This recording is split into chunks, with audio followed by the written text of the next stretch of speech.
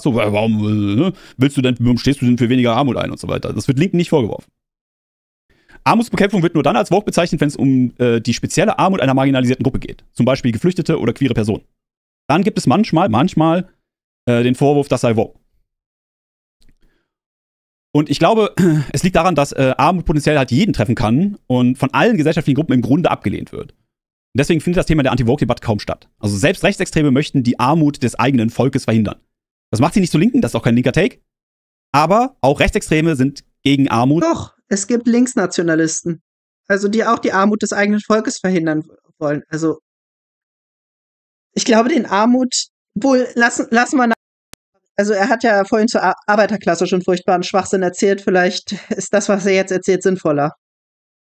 Für ihre eigene chauvinistische Gruppe. Verletzt aber im Grundsatz die, die, die äh, linke Wie gesagt, es gibt, gibt auch linken Chauvinismus. Also wenn man sich ein bisschen mit Geschichte auskennen würde, würde man das wissen.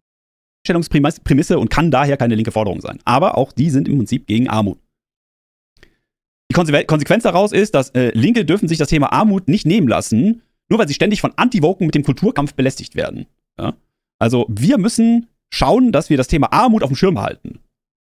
Äh, denn wenn wir aufhören. Ja, ja gut, Nathan, was sagst du denn zum Wirtschaftskrieg gegen Russland, der die Armut in Deutschland in die Höhe getrieben hat und die Reallöhne der deutschen Bevölkerung um rund 5% hat sinken lassen, der den Stand von 2015 zurückversetzt hat, der die Mindestlohnerhöhung massiv entwertet hat. Was sagst du zum Wirtschaftskrieg gegen Russland? Wir enden, um was gegen die Armut zu tun? Und äh, der auch die Nahrungsmittelpreise in die Höhe getrieben hat. Also im globalen Süden, da haben viele Menschen plötzlich an Hunger äh, gelitten, weil sie sich die, Ma äh, die Mais, die Weizen, die Reispreise nicht mehr leisten konnten.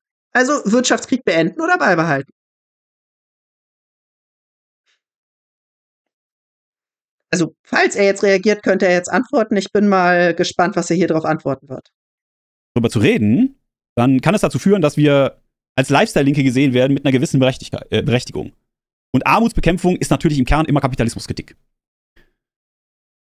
Was ist denn jetzt eigentlich der Kulturkampf? Das müssen wir als nächstes mal kurz klären. Was ist, was ist eigentlich dieser Kulturkampf? Ähm, Capulcho, wenn du selber kein Kapital besitzt, sondern von Lohneinkommen lebst, dann bist du Arbeiter. Wenn du Kapital besitzt, dann bist du Kapitalist und hauptsächlich von Kapitaleinkommen lebst. Das, ja, das ist das Unterscheidungsmerkmal an der Stelle. Beziehungsweise, wenn du Selbstständiger bist und in einem kleinen Betrieb, also es gibt ja auch kleine Selbstständige, dann bist du halt Selbstständiger. Aber ja, wenn du von Lohn lebst, dann bist du äh, Arbeiter.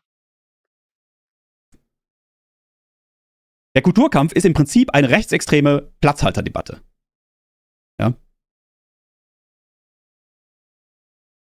Es werden, ähm, was meine ich mit Platzhalter? Mit Platzhalter meine ich, dass beispielsweise kriminelle Ausländer rausgesagt wird, anstelle des eigentlichen Ziels der Rechtsextremen, POCs zu deportieren und oder umzubringen. Ja, also man man, die NPD hat das zum Beispiel gemacht, sie hat plötzlich auf ihre Plakate nicht mehr Ausländer rausgeschrieben, sondern kriminelle Ausländer raus. Oder es wird eine Anti-Wokeness wird, wird, wird aufgemacht, anstelle des eigentlichen Ziels, queere, behinderte und feministische Menschen zu deportieren und oder umzubringen. Also man sagt sozusagen, von diesen queeren, behinderten, feministischen Menschen nehmen wir eine Gruppe, die wir jetzt Woke nennen und gegen die kämpfen wir. Und diesen Woken... Das ist ja wirklich, also okay, es gab in der Geschichte Rechte, also ich versuche das hier nicht zu Bad Faith an, anzuschauen. Deswegen ja, es gab in der Geschichte Rechte, die umbringen und deportieren wollten. Okay, ja. Aber okay, es gab auch Rechte, die behinderte Menschen umbringen wollten.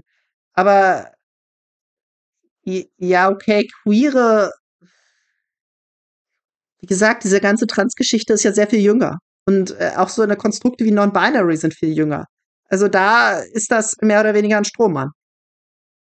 Also da unterstellt man den Rechten etwas, was sie nicht wollen. Und wie gesagt, es gibt ja auch kaum Rechtsextreme in diesem Land. Also man nimmt hier wirklich einige Idioten aus dem feindlichen Lager, wo auch die meisten aus dem rechten Lager sagen würden, mit denen wollen wir nichts zu tun haben und tut jetzt so, als wäre das das große Problem, gegen das man kämpfen müsste. Machen wir bestimmte Zuschreibungen.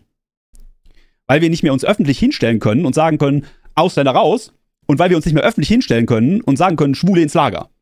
Das können wir nicht mehr machen, deswegen führen wir jetzt als Rechtsextreme eine Platzhalterdebatte. Der Kreis der auszugrenzenden Gruppe wird also kleiner gezogen und mit Eigenschaften versehen, die bei Konservativen und Linksliberalen auf mehr Akzeptanz stoßen. Ja. Beides ist diffus. Also sowohl Anti-Wokeness ist äh, diffus, als auch kriminelle Ausländer raus. Kriminelle Aus kriminell kann nämlich zum Beispiel alles bedeuten, zwischen Mörder oder der simplen Eigenschaft Geflüchteter sein durch die Verletzung des Aufenthaltsrechts. Vogue ist noch ungenauer. Äh, meistens handelt es, sich, handelt es, sich um linke antidiskriminierende. Ich habe es vorhin äh, definiert, identitäres Politikverständnis im doppelten Sinne und dann habe ich das genauer ausgeführt. Also die Leute wollen einem nicht zu. Ich habe es Neitern auch erklärt in unserem Talk. Er hört einem nicht. Also er will weiter gegen den Strohmann. Warum gehe ich darauf überhaupt ein? Also ihr merkt, ich, ich wiederhole mich die ganze Zeit, weil Neitern der Gegenseite nicht zuhören will. Er will seine Ideologie durchprügeln und das geht halt nicht, wenn man keine Gegenargumente auf die Definition des Gegners hat. Man will dem Gegner schließlich unterstellen, er hätte keine genaue Definition und alles sei diffus, was es nicht ist, de facto. Gesellschaftspolitik, zum Beispiel Gendern. Warum gerade Gendern? Also die Frage habe ich mir auch gestellt. Warum gerade Gendern? Warum ist Gendern so ein großes Thema in der Platzhalterdebatte? Weil die Wokisten es pushen. Könntest dieses Thema abräumen, dann wäre es kein Thema mehr. Ganz einfach. Weil Gendern ein, äh, ein offenes Diskursfeld ist. Das heißt, es gibt auch von Linken eigentlich so gut wie niemanden, ich kenne jedenfalls niemanden, der sagt, Gendern sollte genau so und so funktionieren. Also das ist das richtige Gendern und das sollte jeder so machen. Sondern alle möglichen Leute gendern auf unterschiedliche Art und Weise, vertreten unterschiedliche Ansätze, Ansätze des Genderns und ähm, das ist ein Diskurs unter Linken, der offen ist. Und es gibt auch Probleme mit Gendern, ne, dass die auch von Linken angesprochen werden. Beispielsweise, was ist denn zum Beispiel mit, mit blinden Menschen, mit der Blindenschrift und so weiter. Es gibt ganz viele äh, Probleme, die geklärt werden müssen. Das heißt, ein offenes Diskursfeld. Jetzt gehen Rechte hin und Rechtsextreme hin und tun so, als würden die Linken ein, eine bestimmte Form des Genderns fordern und auch sagen, jeder muss es machen. Während Linke in Wahrheit sagen, du genderst cool, du genderst nicht, okay, dann gender eben nicht. So, also mach es oder lass es, aber bitte kritisiere nicht die Leute, die es machen. Das ist ja die eigene. Dumm. Für wie dumm hält Neitern sich eigentlich? Wir versuchen Walk-Ideologen uns eine absurde Kunstsprache aufzudrücken und ja, die versuchen das in Behörden und Universitäten zu machen und so nach und nach in die Gesellschaft zu tragen. Die versuchen das an den Institutionen zum Gesetz zu machen und es dann zur allgemeinen Rechtschreibung zu machen. Das versuchen sie doch. Und jetzt, wo noch 80 Prozent der Bevölkerung dagegen sind und sie sich noch nicht durchgesetzt haben, das sagen sie, ja, das sei doch alles freiwillig. Also den Trick, den haben wir alle durchschaut. Also wir sind doch nicht dumm. Und ähm, ihr könnt, also die Walkisten, wenn denen das angeblich nicht so wichtig ist, könnten die das ja auch äh, einfach, ganz einfach beenden. Hört auf zu gendern und niemand stört sich mehr daran. Punkt aus, Debatte gelöst, fertig. Es wäre so einfach. Schweinehund schreibt gerade im Chat, Neitern hätte uns für sehr dumm. Ja, natürlich. So ist das immer, wenn du dir was von diesen Leuten anguckst. Das ist bei Dekadent und Dara genauso. Und ich wollte gerade mit Shoyoka anfangen, aber über die darf man ja nicht sagen, ohne dass man Angst haben muss, verklagt zu werden. Also bin ich da mal ganz leise. Hm. Linke Position. Aber es wird so getan, als wären die Linken jetzt in diesem eigentlich offenen Diskursfeld, weil es da keine eindeutigen Argumente für eine eindeutige Vorgehensweise gibt, wird so getan, als würden die Linken das aber tun, um gegen sie vorzugehen. Dieser kleinere Kreis wird dann als Instrument genutzt, um Stimmung gegen die gesamte Gruppe zu machen und Hass zu schüren. Also wir reden hier immer über Rechtsextreme und was sie tun, ne? wie, sie, wie sie zündeln. Das heißt, sie nehmen diese kleinere Gruppe, wo sie sagen, das sind diese Woken, hm? das sind dann sowohl direkt Betroffene als auch deren Allies, die rausgepickt werden und die dann als Vogue bezeichnet werden und versuchen dann mit diesen Eigenschaften, die man ihnen zuschreibt, Stimmung gegen alle zu machen. Man nutzt Extrembeispiele, um die Linken zu spalten oder zu delegitimieren. Also beispielsweise äh, die Segregation in Schulen in den USA, die vollkommen bescheuert ist. Oder diese Dreadlock-Sängerin, die von Fridays for Future ausgeladen worden ist, oder dass der Christopher Street Day einen Waffensponsor hatte. Solche Extrembeispiele, die auch übrigens innerhalb der Linken stark äh, kritisiert werden. Ähm, ja, wenn Erwin das kritisiert, dann wird er doch von euch gecancelt und es wird gesagt, ah, du verbreitest Verschwörungstheorien. Oder war das irgendwie anders? Vielleicht äh, verwechsel ich da auch was. Und einen starken Backlash gehabt haben, werden genommen und es wird so getan, als wären alle Linken so lost und würden sagen, ja, ein Waffensponsor bei CSD ist ja vollkommen cool. Während selbst, während selbst Jan Böhmermann, der ja so das Feindbild der Anti-Woken ist, einen Song dagegen gemacht hat. Das, äh ähm, nein, hier löschen sich Mods nicht gegenseitig, das war ich. Also bitte als Mods äh, löscht euch nicht gegenseitig. Ähm, seid einfach, versucht einfach, vor allem wenn ihr Mods seid. Kritisiert inhaltlich, was ihr seht, aber ähm, bleibt bitte ruhig im Chat. Also ich will hier kein, keine Eskalation. Und der Chat war auch bis, äh, bisweilen sehr ruhig. Also da habe ich heute eigentlich nicht viel zu meckern. Die Kommerzialisierung des CSD und so weiter. Also man, man versucht, Extrembeispiele sich rauszusuchen, um damit so zu suggerieren, dass alle Linken diese extreme Forderung. Nein. Also Leute wie Erwin kritisieren das und äh, ihr versucht sie dann zu canceln und als Verschwörungstheoretiker und sonst was zu diffamieren. Also ihr versucht die Leute, die das delegitimieren. So rum. Und äh, das Ganze, also ich habe ja die Human Rights Campaign angesprochen, dieser ganze Wokismus, dieser ganze Kulturkampf wird vom Großkapital gepusht. Und wenn man das kritisiert, dann sagt, sagt ihr Wokist nicht, toll, das Großkapital mögen ihr auch nicht. Dann sagt, sagt ihr, das, äh, das ist eine Verschwörungstheorie, du kannst doch nicht die armen Finanzkapitalisten äh, zitieren. Wenn du äh, Woke sagst, wir sollen die Woken aufhalten, dann meinst du eigentlich, eigentlich die Juden. Das denke ich mir gerade nicht aus, das hat Dara so gesagt. Also das, das ist wirklich original von Dara. Also diese antideutsche Ideologie, die aus Deutschland, also die in Deutschland ja mal eine Zeit lang ziemlich groß war, die hat sich jetzt nahtlos mit diesem Wokismus verbunden. Also dieser Vorwurf, wenn du das Finanzkapital kritisierst, äh, dann bist du eigentlich Antisemit. Der ist auch bei den Woken total im Woke. Das ist ähm, ja Gregor auch, Gregor auch, völlig völlig geistesgestört. Also diese diese Leute, die sind nicht satisfaktionsfähig, mit denen kannst du nicht vernünftig äh, diskutieren. Also alleine das ist ja schon die übelste Diffamierungstaktik und das weiß, also das das wissen die auch.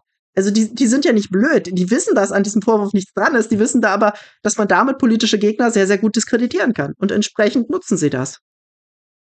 aufstellen und deswegen halt ähm, äh, deswegen halt nicht mehr alle Tassen im Schrank haben.